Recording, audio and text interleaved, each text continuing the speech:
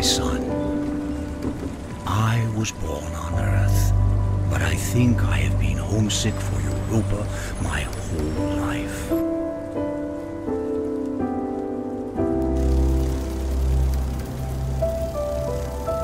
I'm writing this from the island. The view from up here is like nothing else I've seen.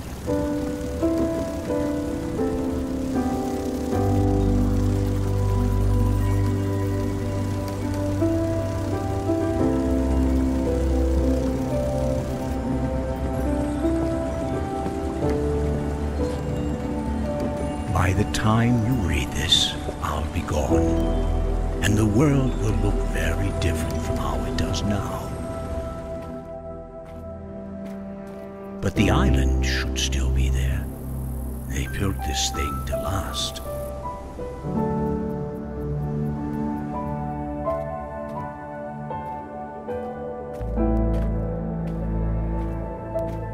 Come to the island if you ever get lonely.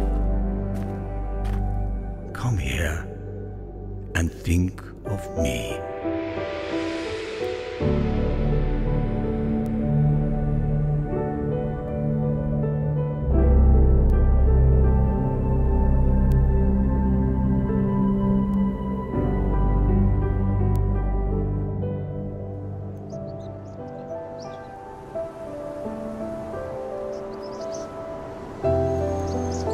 Siempre hemos creído que los videojuegos deben ser difíciles, divertidos, interactivos y llenos de mecánicas innovadoras.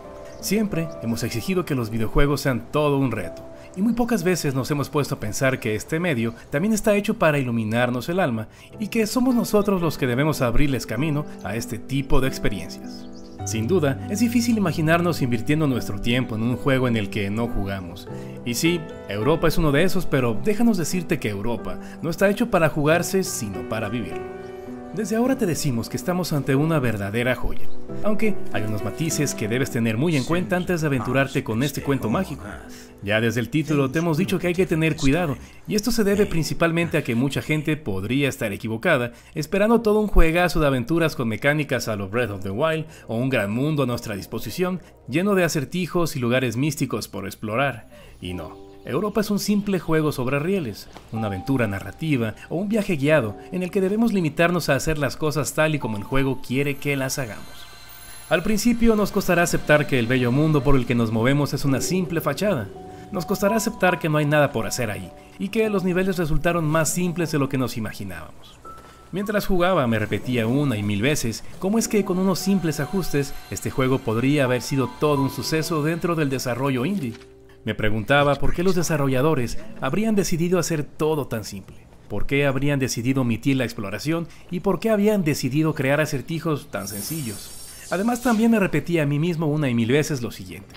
Si tan solo Europa hubiera sido un juego más tirado hacia las plataformas, el título habría funcionado. Así de desesperado estaba.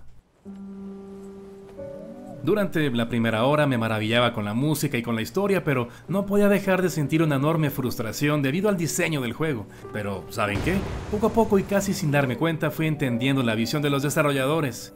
Ya no me costaba llegar a un acertijo y resolverlo en 5 segundos. Ya no me costaba tener que volar y volar sin un propósito aparente, y mucho menos me interesaba seguir cuestionando la simpleza de sus mecánicas. Lo único que me interesaba era avanzar y avanzar por esos paisajes de ensueño para seguir enterándome de la historia.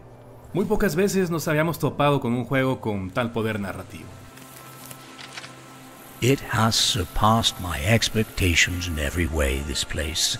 I don't know what I expected.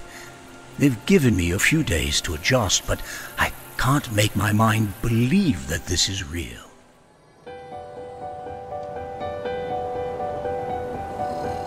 Y ojo, no pienses que se trata de una novela increíblemente elaborada, llena de giros inesperados y un montón de variantes en el argumento.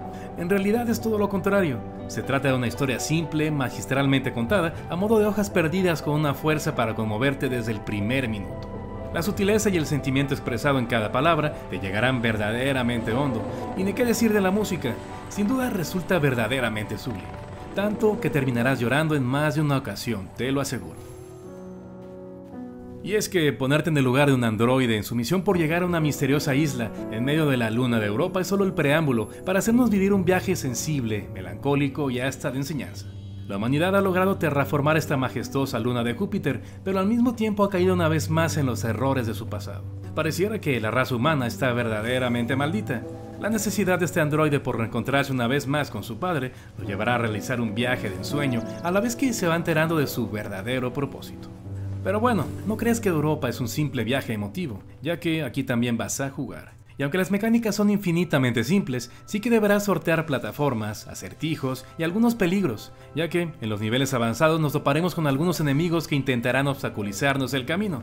Desde tener que lidiar con el viento en contra, torres que disparan láseres a los Breath of the Wild, hasta entidades voladoras que nos drenarán la energía.